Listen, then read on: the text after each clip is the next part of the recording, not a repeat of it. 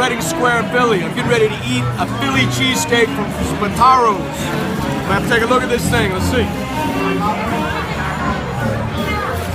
That looks ridiculous, right? No Cheez Whiz, but that's all right. Let's see what we got.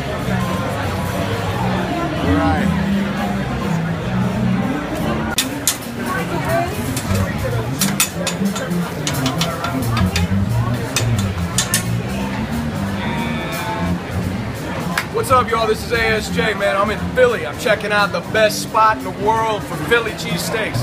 I just had one. I gotta tell you, it's the baddest cheesesteak I've ever had. ASJ, this is the man right here. Tell us about your shop. Hi, I'm Dom Spataro.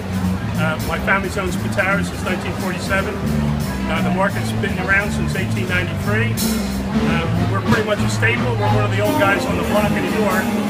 And uh, we've been doing cheesesteaks as long as I can remember. Quality of the meat.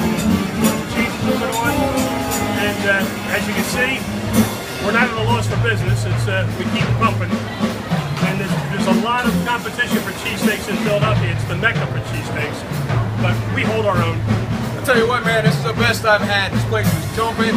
Lines around the corner. Cheesesteaks are hot. Spice is amazing. Best I ever had. You need to come check it out. Take care.